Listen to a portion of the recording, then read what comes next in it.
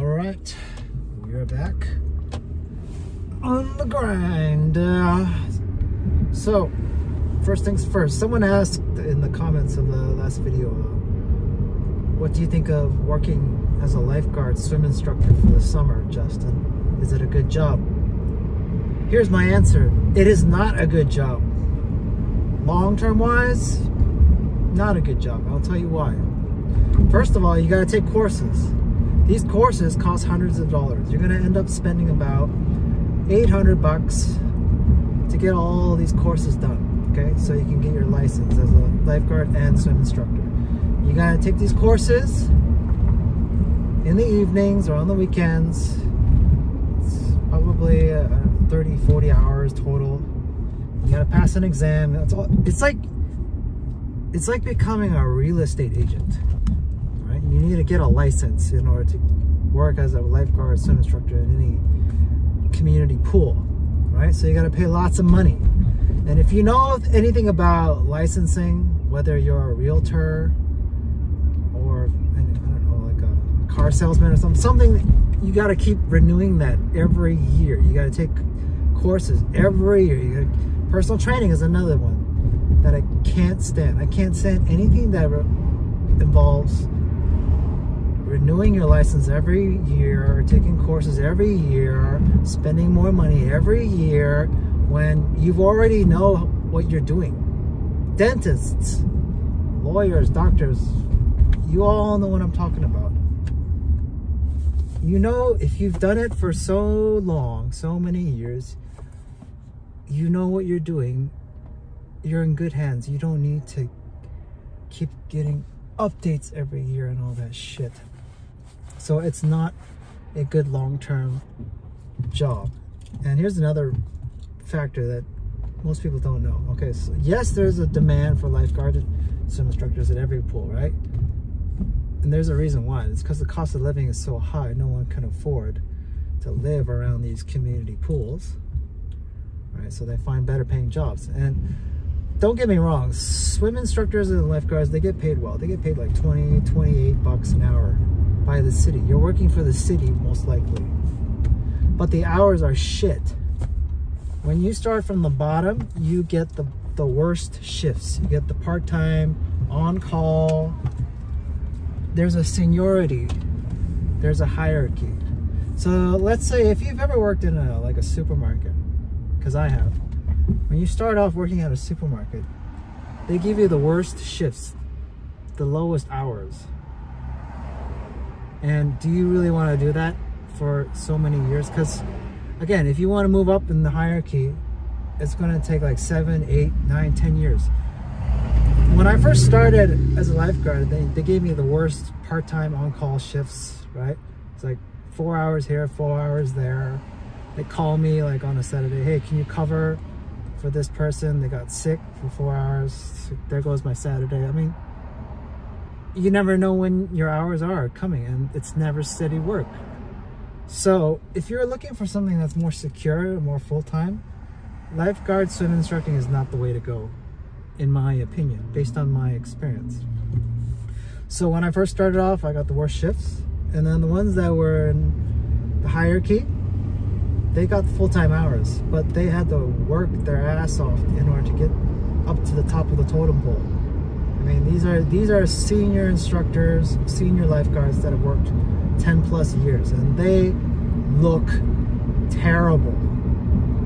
They look so jaded, grumpy, miserable. It's like hate the most hateful people. And uh, this is probably like any industry that I'm describing. Anyone that's worked in a hierarchy for hours that's worked like 10 plus years, you know the look on their face. You know what I'm, these people that I'm describing. Do you want to be one of these people? I wouldn't. So that's why I left. Yeah, I worked lifeguarding for several years and then I just did my own thing. I just taught my own students. I worked as a freelancer overseas.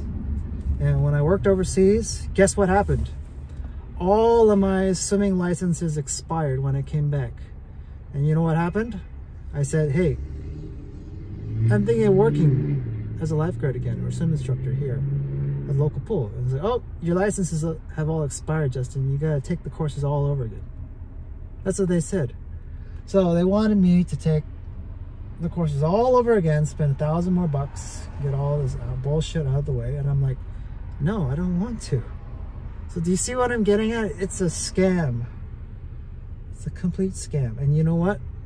They lure young people in on this scam because the young people are the most easily manipulated. So I was really young when I started as a lifeguard. I didn't know any better, but now I do. And if I were you, if I were if you were to ask me, should I work as a lifeguard, become a lifeguard? No. Learn how to swim. Learn how to swim good. You can learn from my videos, you can learn from YouTube, but you don't need to become a licensed lifeguard. And you know what? A lot of, same thing with realtors, they'll probably say the same thing, or dentists, or anyone who's licensed. You know, 99% of people fail because they just don't stick to it. You got to stick to it for like 10, 20 years. Do you want to put 10, 20 years of your life invested into this? I don't. So, think about what I'm saying. It's not a good career path. That's why there's so many job vacancies in pools because they can't get enough staff. They just know like the cost of living is too high, the hours are shit. There's so much bureaucracy and legislation. You gotta do all these courses that I'm renewing. I'm licensed bullshit. No, thank you. No, thank you. So what should you work as? Instead, Justin, if I had to tell myself back then, if I had to do it all over again, I'd just work for myself. Become a freelancer, work online. Start a YouTube channel, start a business on your own. Whether it's online or helping your local community somehow. Okay, so find something that you're good at and monetize it is what I'd say. What is this guy doing?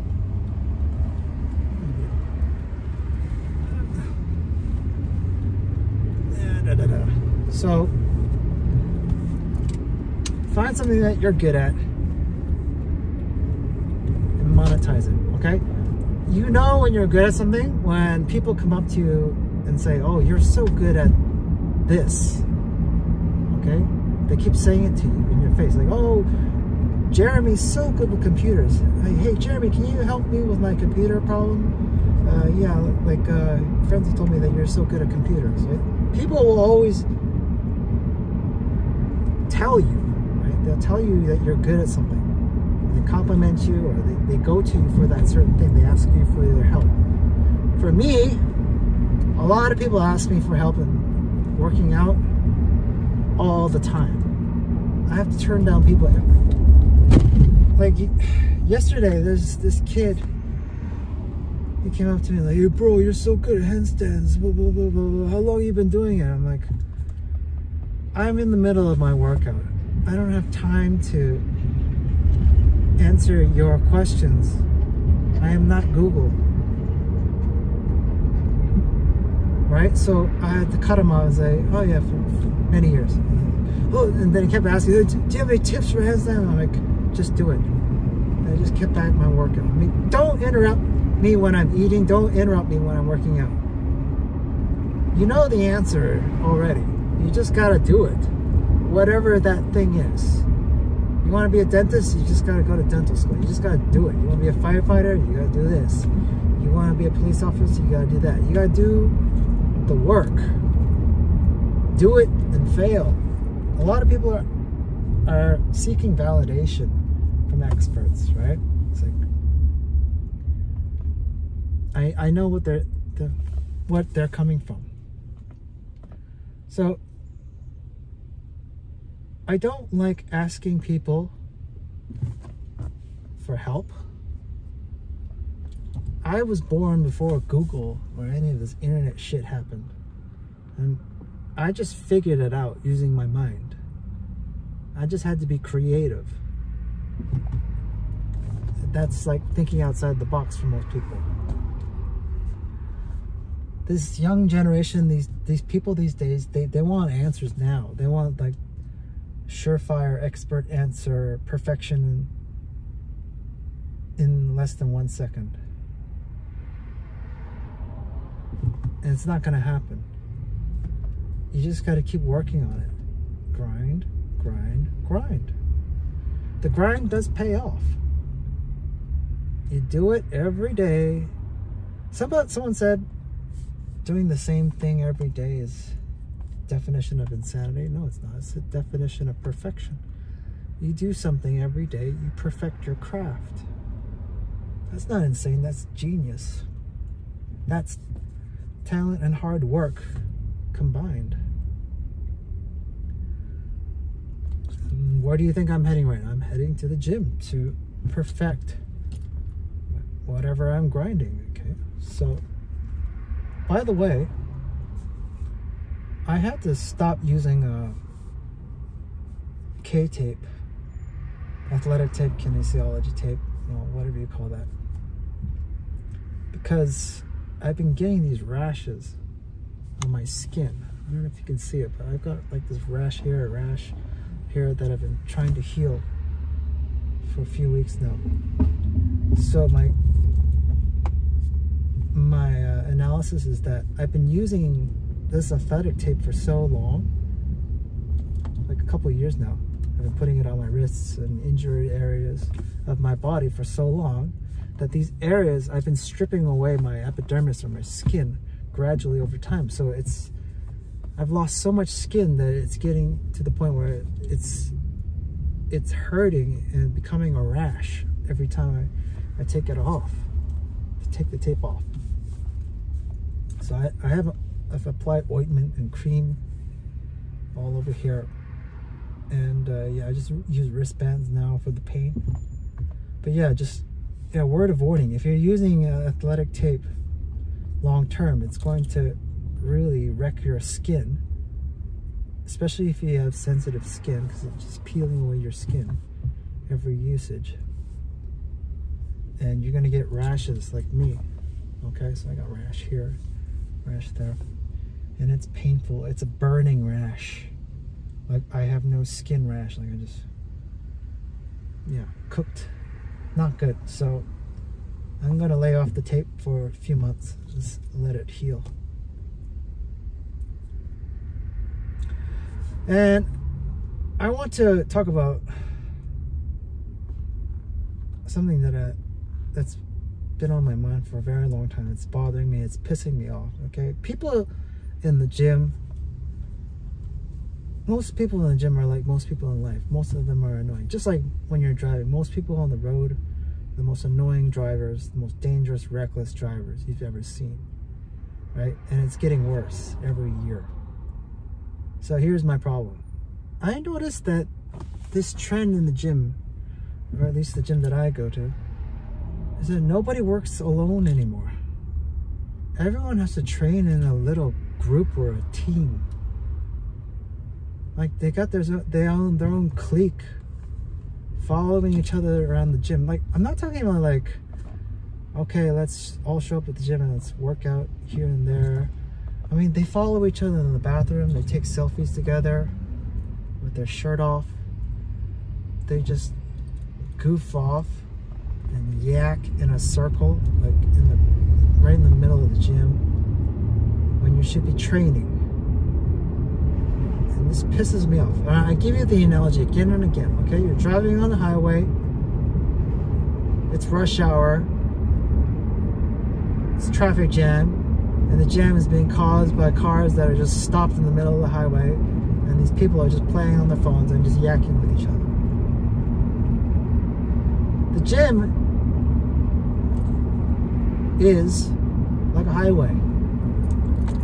You need it needs circulation, right? Everyone keeps, has to keep moving. You got to keep moving in a gym. You can't just stay still for an hour there just yakking, because people need to use a squat rack, or people need to use a treadmill, or people need to use this or that, right? You got to keep moving. And here's I'm gonna here's what I'm gonna teach you about etiquette. When you've done a set, move around. Don't just sit there and play with your phone. Move around, let someone else use it if you're trying to catch your breath.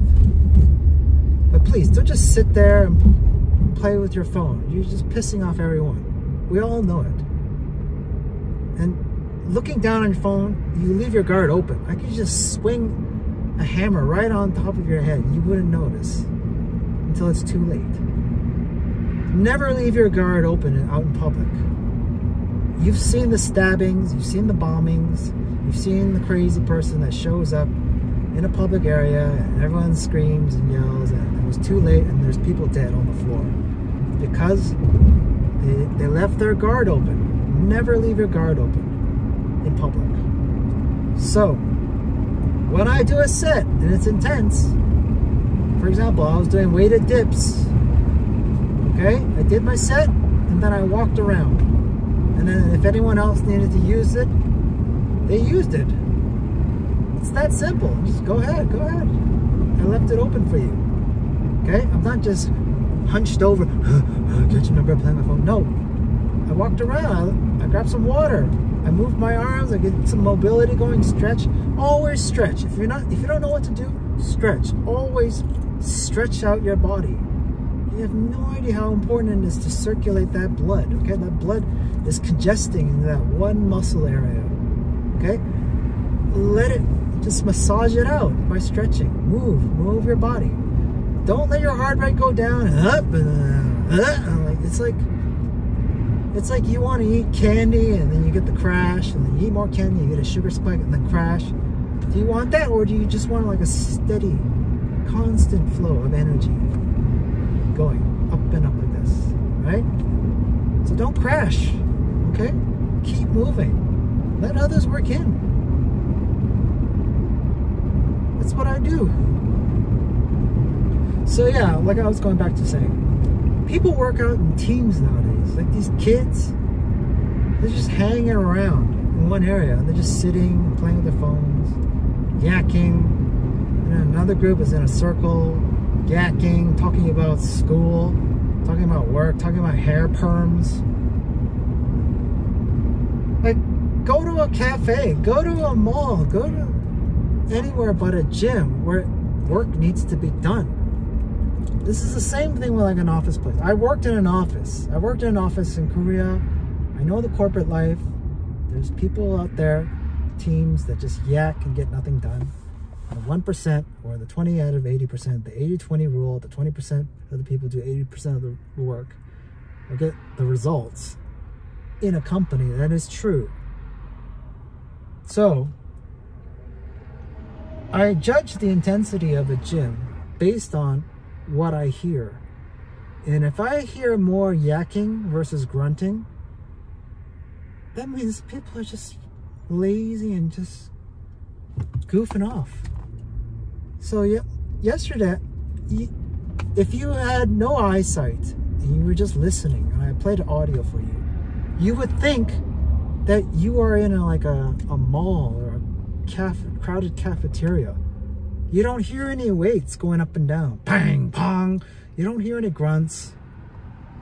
It should be just a natural silence of people working. Because when you push yourself, you're out of breath. You can't speak when you're out of breath, when you've really pushed yourself. So people ask me all the time in the gym, why are you so quiet? Why don't you speak? It's because I'm out of breath. I'm pushing myself all the time. And how do I do that? HIIT, high intensity interval training. I just keep going. I don't stop. Don't stop. I don't stop. I don't sit. I don't take a breather. I don't have time to chat. I'm my body is constantly out of breath. Even when you box, you're out of breath between rounds, okay? The coach talks, you listen. You grab your sip of water, you, you regain your composure, but you're not yakking. The coach yaks to you. So, a lot of people are training in groups or teams or cliques or pairs, and they're just yakking. I, they look, they look like, some guys look like gay couples on a date or a first date or something. That looks gay to me when I see two guys talking and not working. When I see two guys, I think of I don't know, like two Russian guys like training for a boxing match. Coach yelling at his student, push harder, push, or if you know what you're doing, there should be no talking at all. It's just you, your partner, and the job that needs to be done. And you just work at it. And you both put your head down and you grind. Otherwise, you can do it by yourself, which is what I do. I train alone all the time. Not because I want to, but there's nobody like me. I've never seen anybody like me in any gym that I've entered. I'm talking about North America, Asia. Like, if I went to perhaps train in an MMA gym where there are other MMA fighters, top level fighters, yeah, that would be my caliber. Those would be the guys that I would be training with. But all these gyms that I go to, nope. Nobody trains as hard as me. You got to be the hardest training person in the, in the gym. You know why? Because you got to lead. You can't scream off the top of your head every time you show up at the gym. Why are you guys so lazy? Why are you guys yakking? Why are you guys standing around playing with your phones? You know what you should be doing. You should be pushing harder. You should be doing more sets. You should be doing more reps, more weights, more intensity, more intensity, more speed, more cardio. You know what I'm talking about, you fat guy. There's this fat old guy that tries to do calisthenics he can't do calisthenics. He skips cardio every time. I watch him. I watch everybody in the gym. Whether you show up for the first time or you show up regularly, I see your patterns. This fat guy never does cardio. He goes straight to the pull-up bar. He tries to do some monkey swings. Of course, he's not good He's not good at the monkey swings because he's so fat. He's got a huge pot belly. It's why? Because he doesn't do cardio. He doesn't watch his diet. And what does he do between monkey swing sets? He yaks. He yaks with the people around. Oh, how you doing? And goes into cafe mode. Like, it's now, the gym has turned into his cafe where he can yak. And he looks at me all the time. He looks at me like a stalker, like a pervert. I, I catch him looking at me all the time because he wants to do what I do. But he doesn't do the work. He doesn't do his cardio. He doesn't work on getting rid of his gut fixing his diet. And you know what? He's been doing it for so many months. He doesn't make any progress. And that's the thing. Are you improving? You got to ask yourself, are you improving? You're doing months of this this grind that you call it on social media, you you little kids. You broccoli-haired zoomers. Oh, I'm working so hard. You, you lift up your shirt every two seconds in the gym. You pose, and you think you're making gains, but you're not. You've been the same size, you've been the same status for so many years.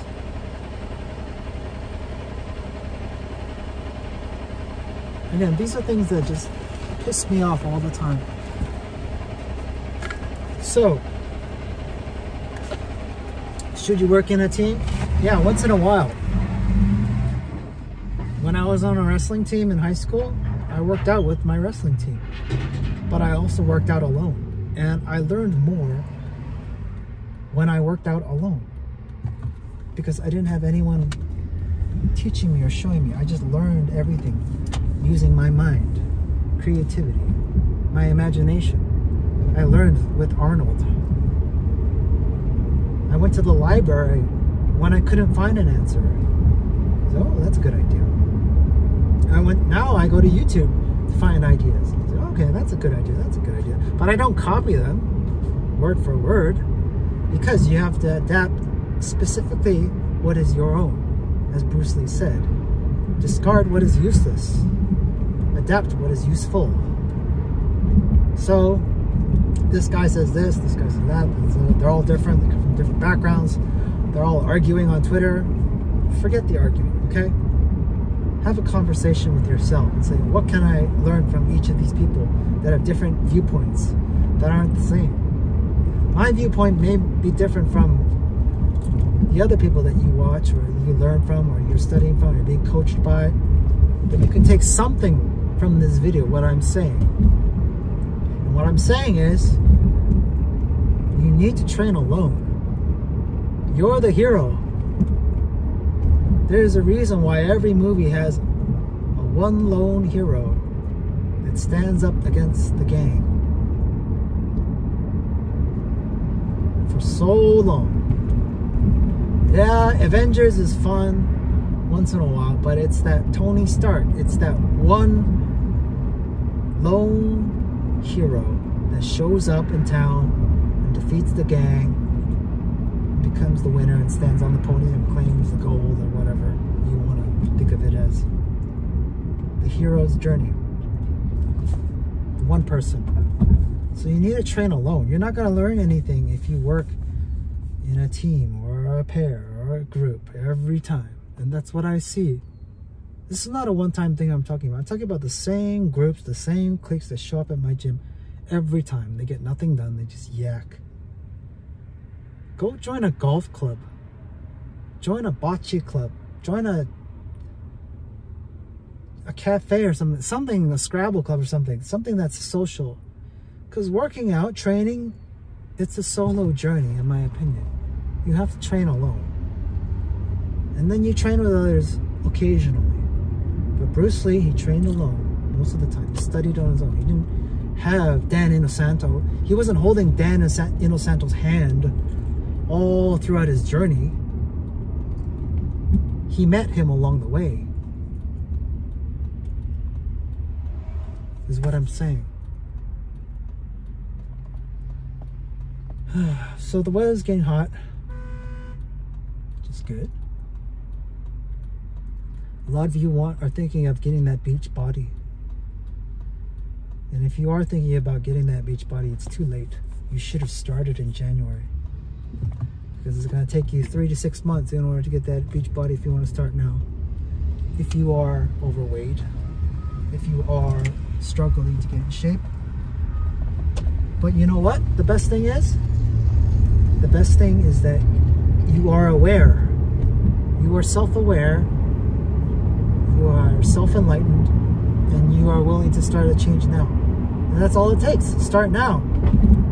I started now versus someone who started 28 days later than me. Okay? You start now, you start earlier than somebody. So do it now.